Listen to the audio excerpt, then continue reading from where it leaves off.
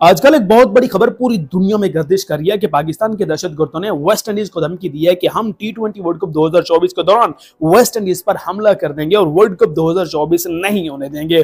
تو کیا آپ نے کبھی سوچا ہے کہ یہ خبر کس نے پھیلائی ہے؟ اس خبر میں حقیقت کتنی ہے اور کیسے دہشت گرد پاکستان سے جا کر ویسٹ انڈیز پر حملہ کرنے والے ہیں؟ ان کا پلان لیک ہو چکا ہے، وہ کیا کچھ کرنے والے ہیں؟ اور اس خبر کو آخر پھیلایا کس نے ہے؟ کیسے پاکستان کو بدنام کرنے کے لیے ایک بہت بڑا ہمارا دشمن ملک یہ ساری کی ساری سازشیں کر رہا ہے، تو آپ نے یہ ویڈیو ذرا غور سے سننی ہے پھر آپ نے انصاف والی بات کرنی ہے، بے شک آپ پاکستان سے یا انڈیا سے کہ یہ جو خبریں ان میں کس حد تک حقیقت ہے؟ تو کیا آپ نے کبھی سوچا ہے کہ پاکستان کے اندر سے ہی ہمیشہ کیوں دہشت گرد پروڈیوس ہوتے ہیں اور یہاں سے ہی دہشت گرد بن کر پوری دنیا میں پھیلتے ہیں اور پوری دنیا پر حملہ کر دیتے ہیں؟ آپ نے کبھی یہ بات سوچی ہے؟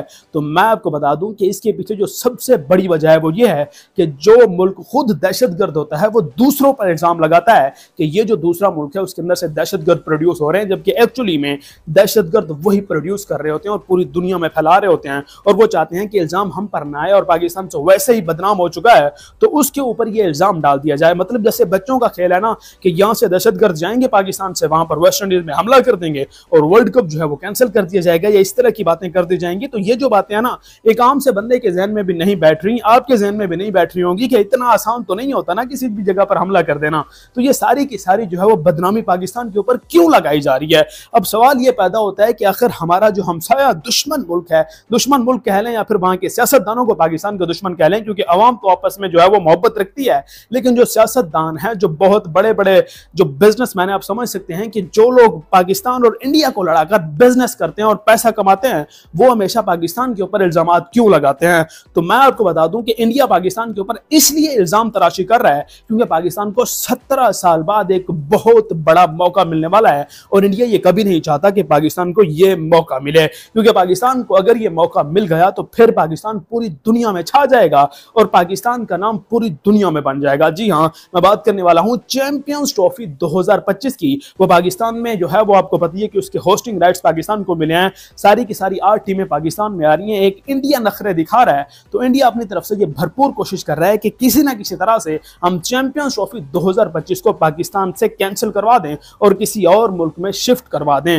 کیونکہ اس سے پہلے آپ کو پتہ ہے کہ ایشیا کپ کے اندر بھی انڈیا پاکستان میں نہیں آیا تھا، لیکن ورلڈ کپ کھیلنے کے لیے پاکستان ٹیم انڈیا گئی تھی۔ اب بہت سے لوگوں کا یہ سوال ہے کہ جیسے پاکستان ٹیم انڈیا گئی تھی اور انڈیا پاکستان نہیں آیا تھا، تو کیا اب بھی ایسا ہونے والا ہے کہ انڈین ٹیم پاکستان میں نہیں آئے گی؟ تو میں آپ کو بتا دوں کہ اب انڈیا کا میں اب کیا کہوں کہ انڈیا کو اب لازمی طور پر پاکستان میں آنا ہی پڑے گا۔ کیونکہ وہ اب مجبور ہو چکا ہے۔ آئی سے بھی اس کو مجبور کر رہا ہے اور اس کے ساتھ ساتھ انڈیا کی ایک بہت بڑی مجبوری ہے۔ دو ہزار چھبیس کا ٹی ٹوینٹی ورلڈ کپ۔ جی ہاں ٹی ٹوینٹی ورلڈ کپ دو ہزار چھبیس انڈیا اور سری لنکا میں ہونا ہے، لیکن اس کا فائنل ہوگا بھارت کے اندر، انڈیا کے اندر۔ تو پاکستان کے اندر اگر بھارت نہیں آتا، پاکستان کے اندر انڈیا نہیں آتا، تو پھر پاکستان بھی دو ہزار چھبیس کا ورلڈ کپ کھیلنے کے لیے انڈیا نہیں جائے گا۔ جی ہاں یہ بات آپ یاد رکھیے گا کہ اب انڈیا مجبور ہو چکا ہے آئی سی سی کے ہاتھوں بھی اور پاکستان کے ہاتھوں بھی کہ اس کو اب چیمپئنز ٹرافی دو ہزار پچیس کھیلنے کے لیے پاکستان میں آنا ہی پڑے گا۔ اور اس کے جو میچز ہیں وہ آپ کو دیکھ لیجیے گا آپ لوگ کہ لاہور کے اندر ہی شیڈیولڈ کیے جائیں گے۔ سارے کے سارے انڈیا کے میچز لاہور کے اندر ہوں گے اور انڈیا پاکستان میں کے اندر لازمی طور پر آئے گا کیونکہ دو ہزار چھبیس کا جو ورلڈ کپ ہے، اس کا فائنل بھی انڈیا کے اندر ہی شیڈیولڈ ہے۔ تو اگر پاکستان انڈیا پاکستان میں نہیں آتا، تو پاکستان بھی اگر فائنل میں پہنچتا ہے تو پاکستان بھی آئی سی سی سے یہی کہے گا کہ جیسے بھارت کو سیکیورٹی کنسرنز ہیں پاکستان کے اندر، ہمیں بھی بھارت کے اندر اسی طرح کے سیکیورٹی کنسرنز ہیں، اس لیے ہم بھی اب بھارت میں نہیں جانے والے، اس لیے ہمارے میچز کو سری لنکا منتقل کر دو۔ اور اس کے ساتھ ساتھ جو ورلڈ کپ کے اندر فائنل کے اندر اگر پاکستان ٹیم پہنچتی ہے، تو پھر بھی پاکستان ٹیم کہے گی کہ ہم فائنل بھارت کے اندر نہیں کھیلیں گے۔ تو ہمارا فائنل بھی سری لنکا کے اندر ہی شیڈیول کیا جائے۔ تو اس لیے اب بھارت کے جو ہے، وہ آپ سمجھ سکتے ہیں کہ game کہاں کہاں پر درد ہو رہا ہوگا، یہ اب مجھے کمنٹ میں بتا دیجیے گا کہ بھارت اب مجبور ہو چکا ہے۔ جے شاہ، کیا اب جتنے بھی بڑے بڑے ان کے لوگ بیٹھے ہیں نا، وہ سارے کے سارے اب مجبور ہو چکے ہیں کہ اب ہم کریں تو کریں کیا۔ اور ان کے پاس جو اب آخری آپشن بچتا ہے، وہ یہی بچتا ہے کہ بھارت کو اب پاکستان میں آنا ہی پڑے گا، چاہے جو مرضی ہو جائے۔ اور اس کے ساتھ ساتھ جو حملے والی بات میں آپ کو بتا رہا تھا، اس کے بارے میں آپ یہی سمجھ لیں کہ وہ خبر مکمل طور پر فیک ہے اور بھارتی میڈیا سمیت دنیا کے ایک دو میڈیا جو بھارت کے ساتھ ملے ہوئے ہیں، وہ صرف اور صرف پاکستان کو ناکام کرنے کے لیے اس طرح کا پروپیگنڈا کر رہے ہیں۔